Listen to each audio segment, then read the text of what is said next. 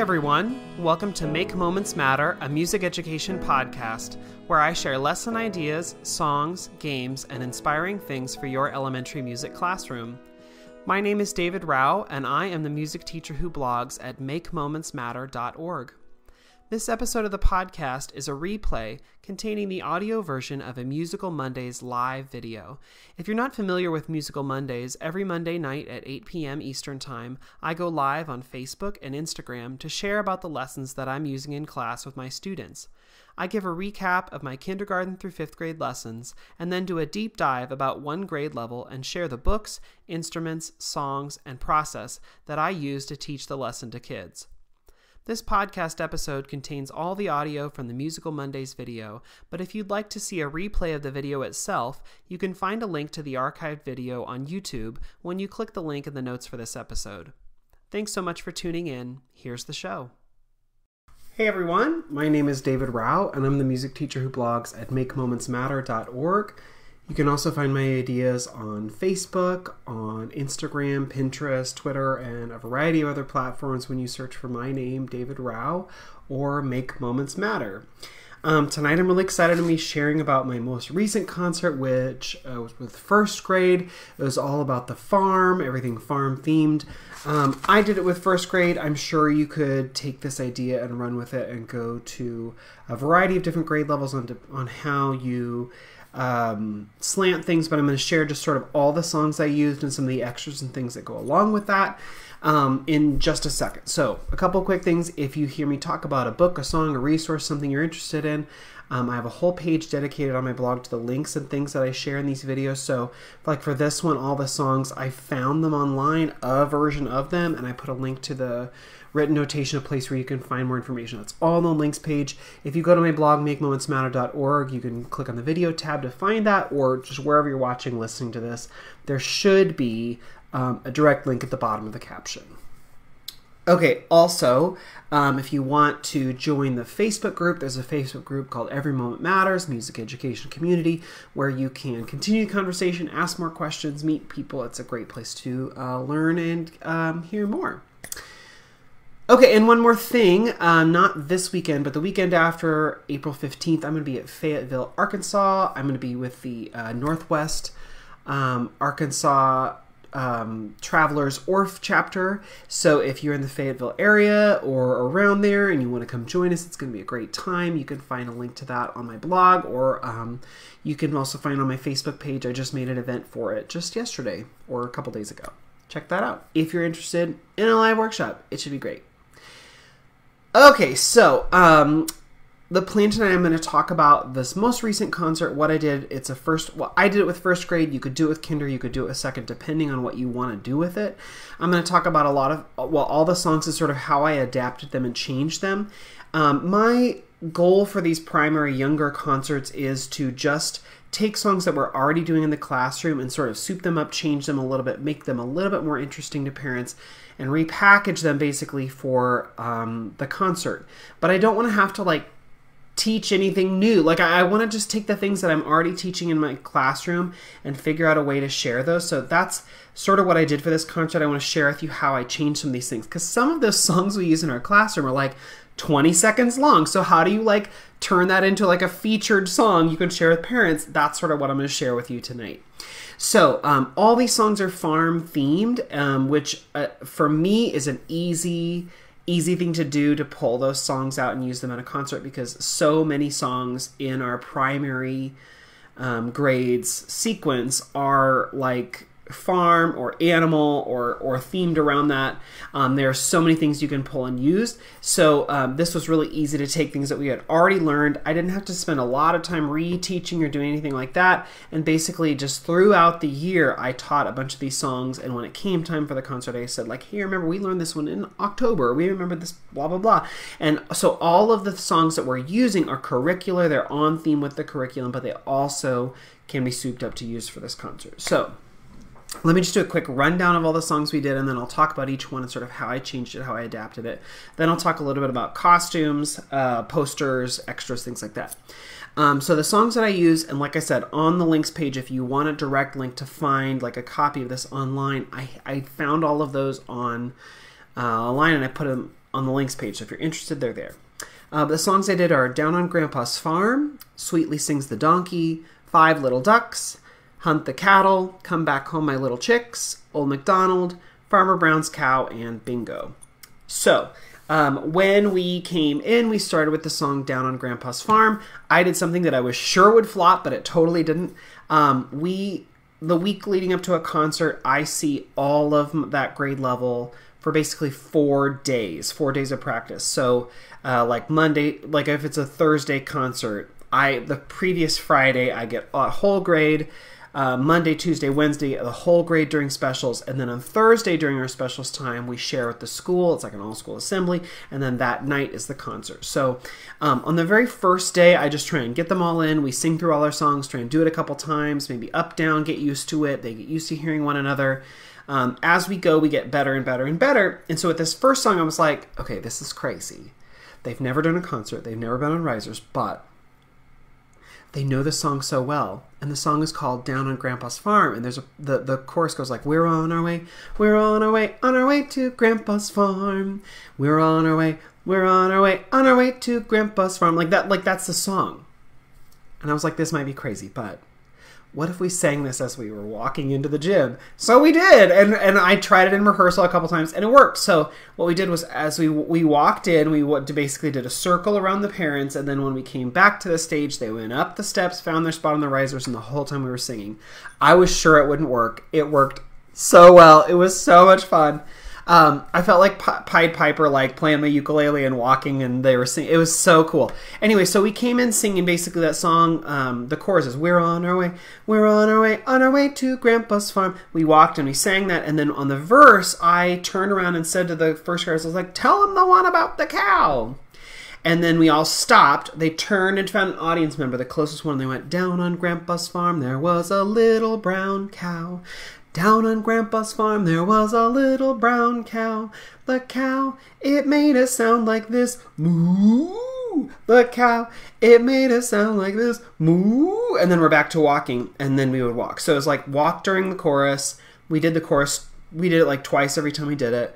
We stopped, we'd sing a verse, do the chorus. It took uh, three verses, and we did brown cow, um, little red hen, and um, dirty pig uh, li- dirty little pig or whatever. I don't remember exactly what we said.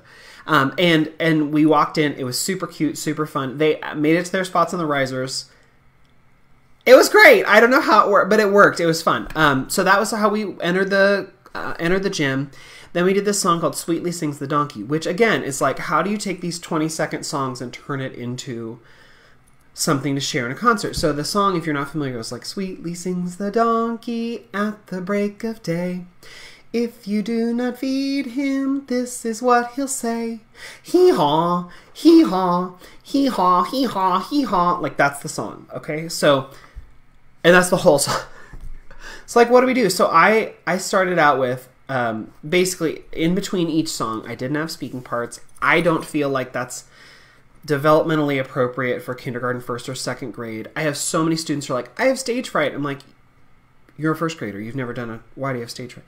Um, and so I don't do speaking parts with younger grades just because it's so much more work for me. Um, it adds so much pressure for kids. Um, it adds so much more pressure for homeroom teachers to like me to like ask them like, can you practice these lines? It's just so much more. It adds so much more stress.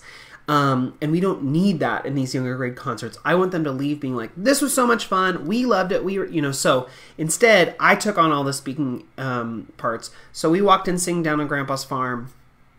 In between that and the next song, I said, "Oh, these junior farmers, they've been doing great. They're practicing. They're ready for the. They're ready to take on the farm. Anything that we need them to do, they're doing great. Except, uh oh." And I train the kids. Anytime I say "uh oh," they all turn to me and go, "What?" And so it's like, uh oh, what? And I was like, someone forgot to feed the donkey. And they were all like, oh no. Okay, so like two reasons we did this. And this was like our clue in between every song. One, parents thought it was hilarious. That like every time I'd say uh oh, they'd all go, what? And then it'd be like, somebody blah blah blah blah blah. Oh no. So like parents thought it was cute. as a little device to like uh, you know, create some repetition, but also it clued in the kids like, what's the next song? So they didn't have to try and remember. It was just like I would give them the clue, like, uh oh, what? Uh, Farmer Brown needs some help with old brown cow. She's sick again. Oh no. Or like, uh oh, what? The ducks have gone missing. Oh no. You know, so like they knew what the next song was. It gave them the clue, but also parents loved it. It, it was like the connective tissue between each song.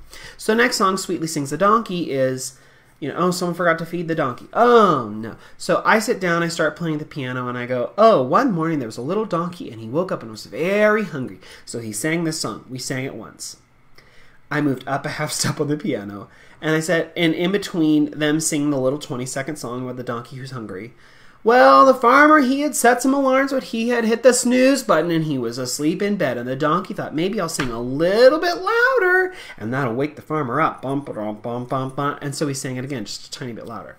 Every time I'd move up a half step, I would add more to the story. Oh, the farmer's awake, but he's got to put on his boots. He's got to find his hat. He's got to get his overalls. He's taking too long. And we'd sing the song again a little bit louder.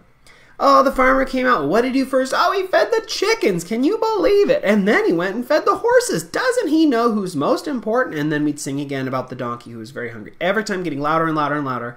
Eventually, they are very, very loud. Um, it's very, it's cute, it's funny. And then the farmer feeds the donkey, and we like tone it down and sing it just sort of a normal dynamic. And it was very fun. It, it took this 20 second song, made it like, you know, two minutes long instead. Um, also, let them play with dynamics uh, and added more drama to the story. So, a super fun version of that song. The next song is Five Little Ducks, if you're familiar with that one. If uh, Great. If not, it goes Five little ducks went out one day over the hills and far away.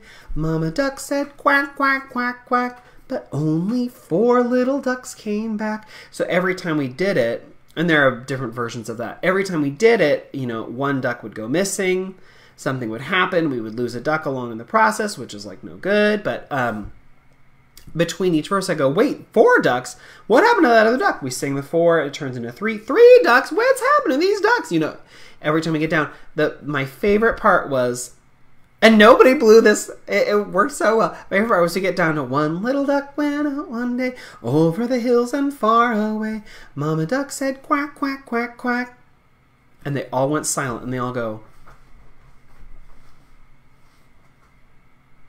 looking around. Mama Duck said quack, quack, quack, quack.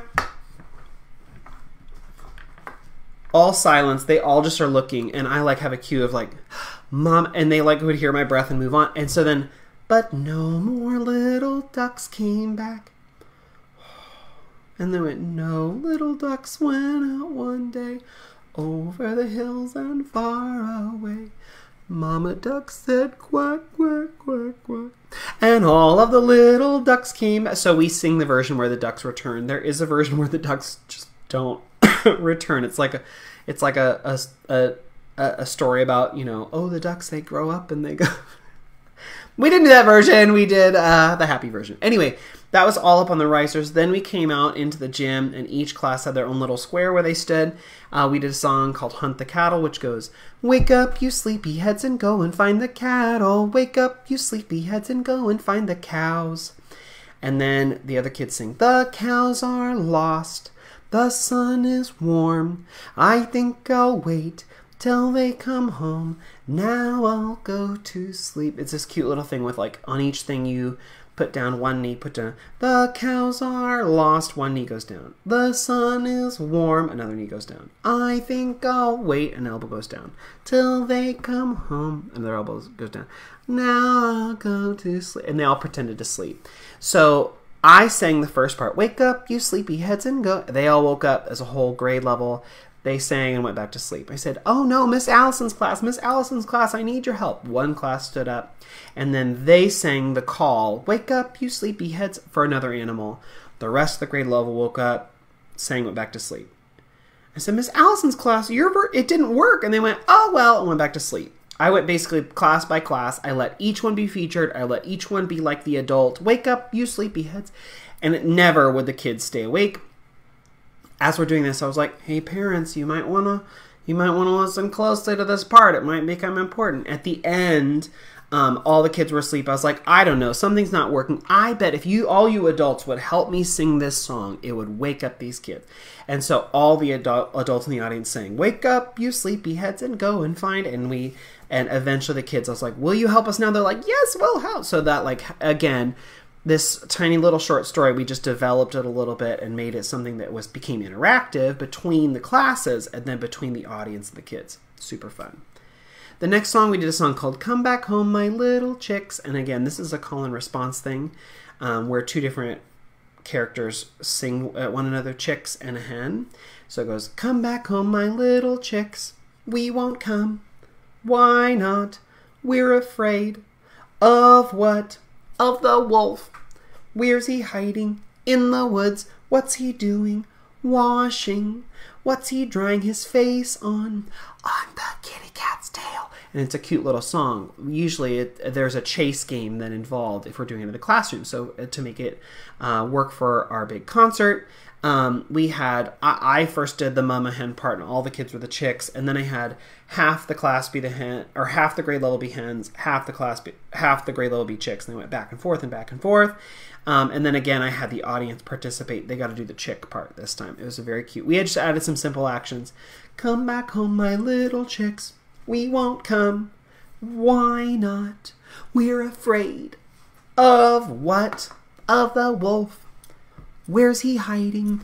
In the wood. You know, so just very, very simple things, but things that the kids could pick up and the audience could as well.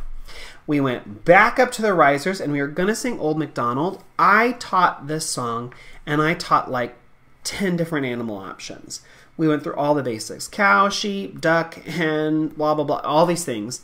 Um, and I taught a bunch of different versions as we were learning the song throughout the year.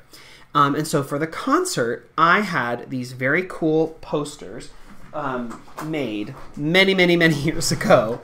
Um, and basically, I just found a clip art set that I really like of farm animals um, and I blew them up to poster size. It's just clip art. Um, and there's this cool website called Block Posters, and I think I think it's just blockposters.com. But if you look really carefully, um, you'll notice this is not just a poster; it is just basic eight and a half by eleven paper. So Block Posters, what they do is they take any image and they break it up into do you want it into four? Do you want it um, uh, into you know do you want four pages? Do you want six pages? And they make whatever size you want. Um, i think it's free. I'm pretty sure it's free. Um, and then they you can download a pdf print it out and basically what i did was i just taped it all together which you can maybe see on the back. It's all just taped together and then i ran it through our laminator.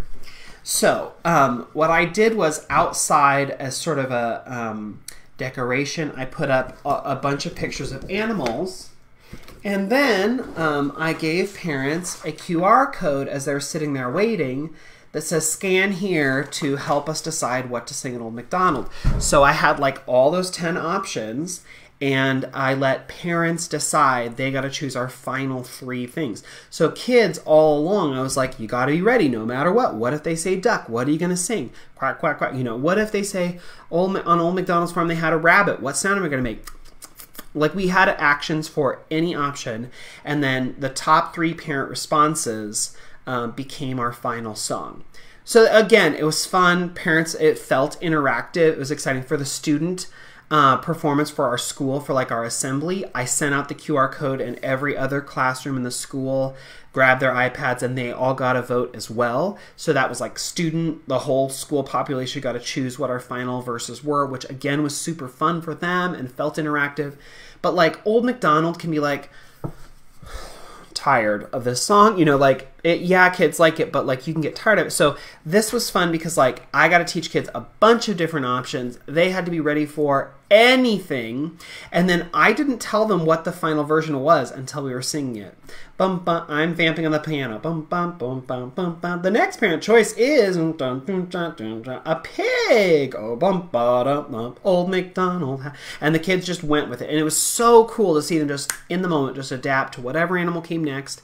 Um, the QR voting worked really well. What did I do? I just did a Google form Um, and I listed the options. There was only one question on the form: which animal? What's your number one animal that you want to hear? I let parents see the responses in like a pie chart when the an- answers came in, so they knew what the answers were. They knew I wasn't like lying. I hadn't like just chosen my favorites and like given them the idea that maybe they could give. No, like they really were getting to vote there, which was fun. Um, and then what they came up with was our final song. Um, then we did a song called Farmer Brown's Cow. Uh, which goes, Farmer Brown had a cow, had a cow, had a cow. She got sick, I don't know how. All she said was moo. Hey, hey, hey, wouldn't you say that would make it go away? Hey, hey, hey, wouldn't you say that's all for today? The idea being that there's this cow who's sick. She can't tell us what the problem is because she speaks cow, not English. And so she can't tell us what the problem is. But if you watch her action, she's like, moo, moo. Moo. And so I, I teach this with a puppet where there's like an actual cow, like as a part of the story. But in the song, kids are like, you know, we don't know. She all she says is moo. Well, the idea is that the farmer's tried everything he can, so other animals from the barnyard are going to come and try to uh, help out the cow. They don't speak cow either, but they're going to try their best. So uh, what I did was we we learned the main verse, Farmer Brown had a cat, like that original verse, and then when I teach the song in the class, we go through a bunch of different options of animals and what they could bring. But what I did for the final concert was each homeroom, and there were four in this in this concert. Each homeroom got their own um, animal and like remedy to sing about. So one class sang her friend the pig brought some grain, brought some grain, brought some grain to see if that would help her brain.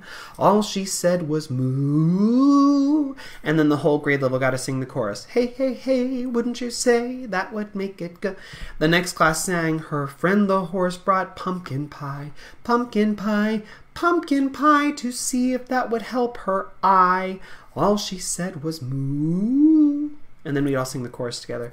Her friend the duck brought some bread for her head. Her friend the sheep brought scrambled eggs for her legs. Um, I tried to not pair a food with an animal. So I didn't have like the hen bring scrambled eggs because that was weird. Um, I did.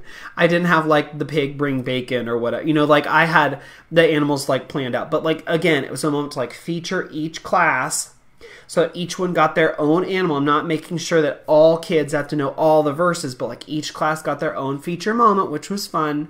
Parents love that. I love that. And then um, we all sang the chorus together and then sang together at the end.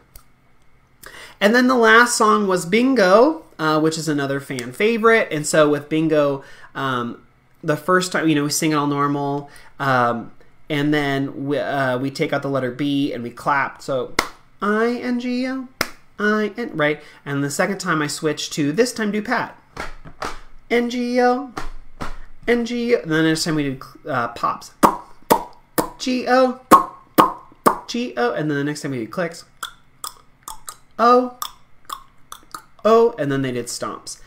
All stomping. And it was super fun. We invited the audience to sing along with us at the end again between each song i would say uh you know like oh these farmers they've got it all under control. They helped us find those dogs ducks except uh-oh what? And all the kids would go what? And i was like oh no the cattle are missing now. And they'd go oh no. And so that sort of helped to connect everything together um, and it was a super fun moment what did kids wear let's talk about costumes so what did kids wear i I, I first started teaching at a, a Title One school, a school where um, a lot of the families in my school community just didn't have money to go out and buy costumes or buy things. And all throughout the rest of my career, I've had this mentality of give kids options, give family options, because some families may say, like, I want to go out and buy a crazy costume, and some families are like, we don't have the budget for that right now. Um, so I want to be sensitive to that, but also I want to give kids freedom and options. So in all of my concerts, I give kids ideas of you could wear this, you could wear this, you could wear.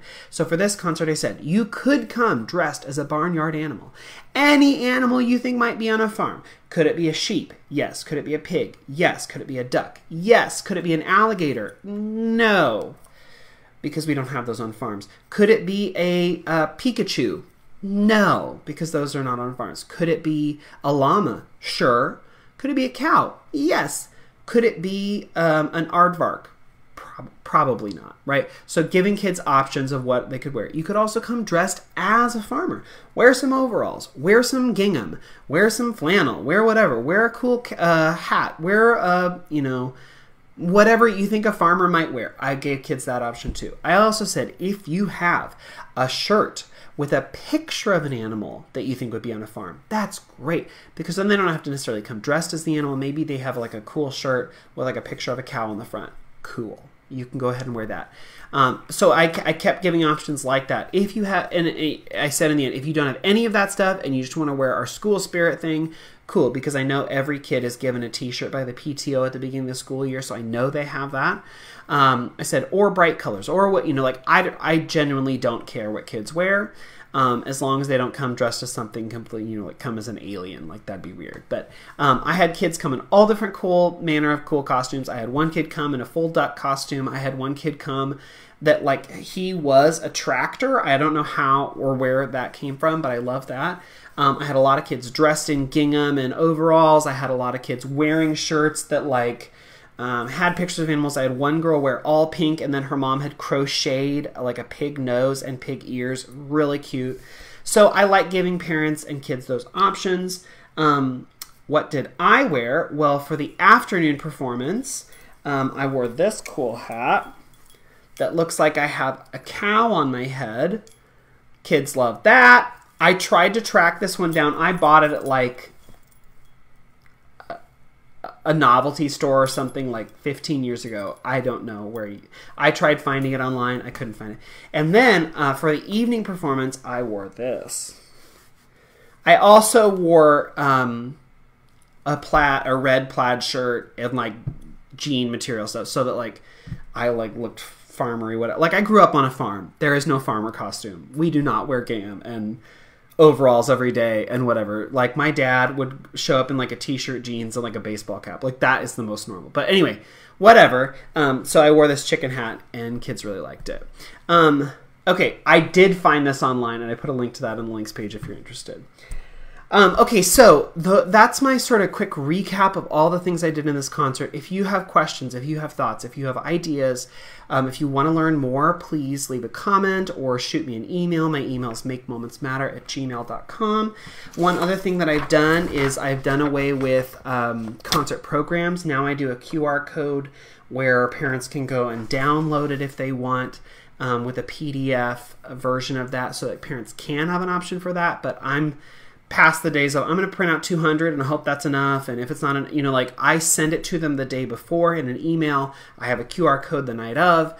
Um, all of those things so that parents can get a copy of that if they want, um, but also like if they don't want it, they don't have to have it. Um, trying to think if there's anything else that I did with this show that I should tell you about. Um, yeah. Oh, and for decoration, then these posters that I had made that I used when I taught Old McDonald, these went up around the um, the stage so that again parents could sort of see what their options were when they did the QR voting for Old McDonald, um, and that was like my decoration for the concert. I don't do a lot of decoration because I don't know the time. It's really not my talent. And also, it's in our active gym, so it would have to be done like the day of the show in between end of school and the concert. And that's a window where a lot of other stuff has to happen, and I don't have the time. So um, I, it was uh, sort of basic, but again, we had so much fun. Kids had so much fun. I don't stress about the decor all that much.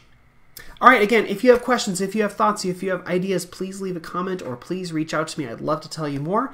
Um, Otherwise, I will see you all next week. Thanks so much for coming along. And think about if you're in the Fayetteville area, come join us at the Northwest Arkansas Travelers Orff chapter. That's in a week and a half on um, April 15th. I hope you'll join us for our live workshop in Fayetteville. It should be super duper fun. Okay, everyone, thanks so much for coming along with me tonight. I hope this was helpful and gave you some ideas. I'll see you all next week. Bye, everyone.